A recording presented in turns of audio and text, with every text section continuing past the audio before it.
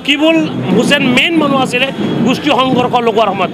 আৰু detention camp Rakibul সময় হুছেইন গৃহমন্ত্ৰী থকাৰ সময়ত আপোনাৰ গোৱালপাৰাত বনিছে। ৰকিবুল হুছেইনৰ দিনতে দুই লাখ তিনি লাখ মানুহৰ নাম আপোনাৰ ডিভোটাৰ কৰি দিয়া হৈছে। ৰকিবুল হুছেইন থাকোঁতে আপোনাৰ মন্ত্ৰী থাকোঁতে আমাৰ এই কি চৰঞ্চল মানুহৰ মাটি পাত্তা নহ'ল। ৰকিবুল হুছেইন থাকোঁতে আমাৰ মানুহৰ চাকৰি নহ'ল। ৰকিবুল কোন ৰকিবুল? এই দালাল ৰকিবুল এজন। এই তেখেতক আমি ইয়াৰ পৰা প্ৰত্যাখ্যান কৰিছোঁ। ধুবুৰীৰ পৰা খেদা খাব ৰকিবুল এইবাৰ। আপোনালোকে চাই থাকক।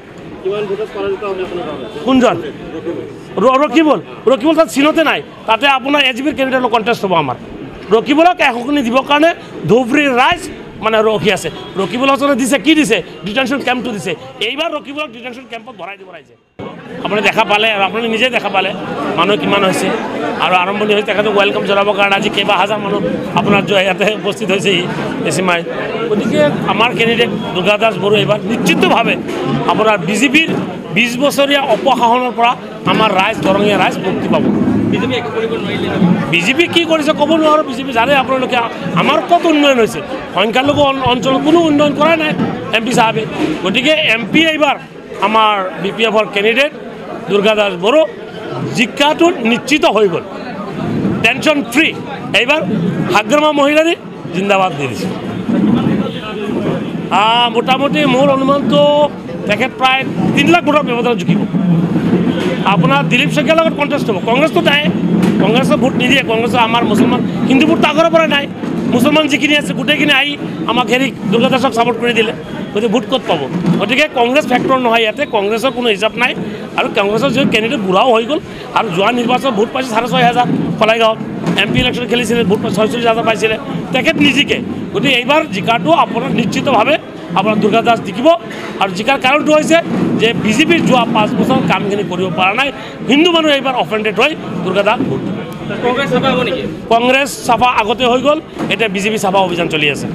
ৰাতিপুৱা দহ বজাৰ পৰা গোৰেশ্বৰ খৈৰাবাৰী হেৰগাঁও টংলা কালাইগাঁও মঙলদৈ আৰু এতিয়া দলগাঁও সমষ্টিৰ এই বিচিমাৰীত আমি আমাৰ সমৰ্থিত ৰাইজসকলৰ ওচৰলৈ প্ৰাৰ্থী হিচাপে দেখা দিবলৈ আহিছোঁ। মই ধন্যবাদ দিছোঁ দলগাঁও সমষ্টিৰ বিধায়ক ডাঙৰীয়া আৰু এ আই ডি এফ দলৰ সভাপতিকে ধৰি কৰ্মকৰ্তাসকলে এক বৃহৎ সভাৰ তেওঁলোকে আহ্বান কৰি থৈ দিছে। আৰু আজি মই জনাবলৈ পাই আপোনালোকক সুখী হৈছোঁ যে কোকৰাঝাৰ আৰু দৰং ওদালগুৰিত আমি তীব্ৰ প্ৰতিদ্বন্দ্বিতা আগবঢ়াম।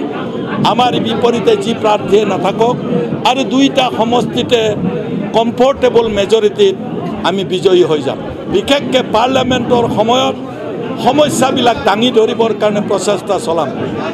বিছ বছৰ ভাৰতীয় জনতা পাৰ্টীৰ একেৰাহে এম পি ইয়াত বিজয়ী হৈছে।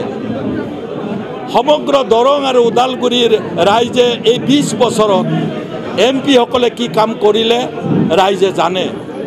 মই ৰাইজক অনুৰোধ জনাম এম পিসকলে যদি আপোনালোকক কিবা উল্লেখযোগ্য কাম কৰি দিছে তেওঁলোকক ভোট দিয়ক মোৰ ক'বলগীয়া একো নাই। কিন্তু যদি আপোনালোকে পৰিৱৰ্তন বিচাৰিছে বিছ বছৰে তেওঁলোকে একো কাম নকৰা সকলোকে যদি নিৰ্বাচিত কৰিব বিচাৰিছে তেতিয়াহ'লে আপোনালোকে কোৱাৰ্টাৰ চেঞ্চুৰী কৰিব পঁচিছ বছৰ আপোনালোক এনেই থাকিব লাগিব। সেইকাৰণে আমি আহ্বান জনাইছোঁ যে দৰং ওদালগুৰিৰ ৰাইজে বি পি এফ দলক অল্টাৰনেটিভ হিচাপে লৈ আমাক বিজয়ী কৰাত সহায় কৰিব বুলি আশা